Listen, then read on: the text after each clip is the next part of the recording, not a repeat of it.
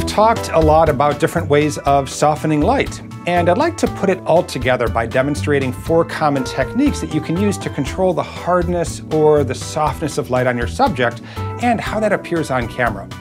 Well, for my demo, I set up a small specular light source to produce the harshest shadows possible.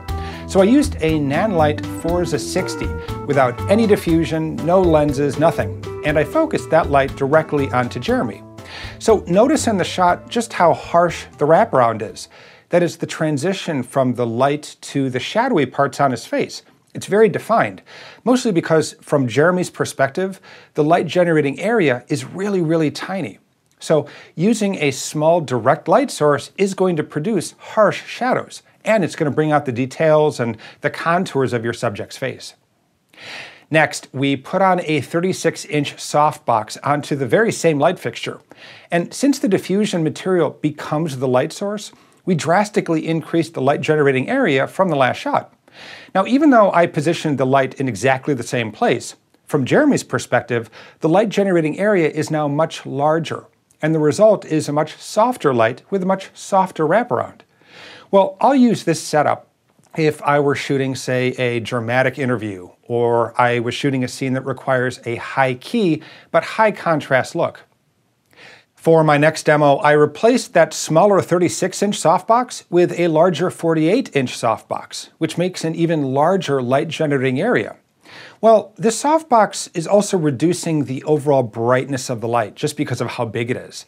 So in order for us to keep the same exposure, and the same light output, I replaced the Nanlite Forza 60 with a heftier Forza 500.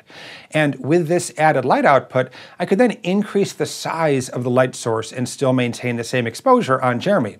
So notice now with this lighting setup just how incredibly soft the wraparound is on his face, especially when we compare this with my previous shot. Well, both shots have a soft wraparound, but the larger softbox in the right shot softens his skin by filling in the very shadows it creates. Now, some of the most pleasing light is doubly diffused, which means that we're focusing our light source through two different types of diffusion. So for this demo, I decided to keep that 48-inch softbox, which is already beautifully softening the light. But then, in addition, I set up a 6x6 frame of grid cloth in front of it. Well, since the softbox is spreading out the light across the entire 6x6, we now have a beautiful 36 square foot light source. And it's creating a very natural soft light with a very, very soft wraparound. Now, the only drawback to this particular setup is that like most soft light sources, the light's pretty sloppy and it's spilling all over the set. So if I want to darken the background, I'm going to have to add some flags or floppies to block the light to maintain my contrast between Jeremy and the background. All right, guys, there you have it. A few techniques to help you improve your film skills.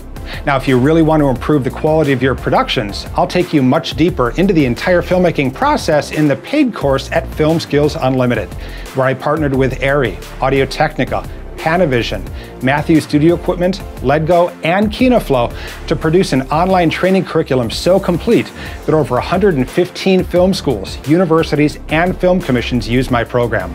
Plus, I sat down with over 70 Academy Award and Emmy winning filmmakers who reveal the techniques they use to produce the biggest TV shows and movies ever made. So join over 20,000 filmmakers and learn how to write better screenplays, become a more effective director on set, master advanced cinematography techniques, unlock the full capabilities of your camera and lens, improve your shots with Hollywood lighting techniques, learn how to record audio, design sets, edit, and much more. And as a special bonus, I've also negotiated special discounts on software and gear just for Film Skills members.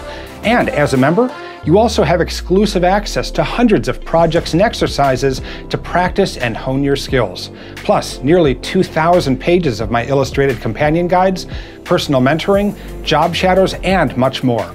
So check out filmskills.com for more information. And by the way, you're also invited to join my free one hour filmmaking course where I share my top 10 secrets to achieving a professional look that helped me grow a career shooting in over 35 countries for top studios and brands.